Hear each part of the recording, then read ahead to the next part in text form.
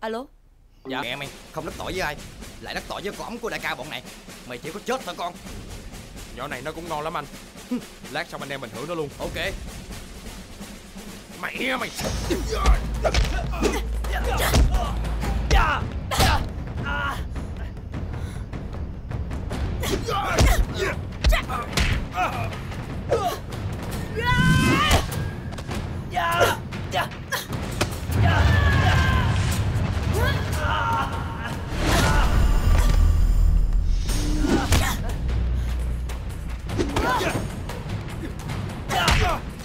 ちょっと!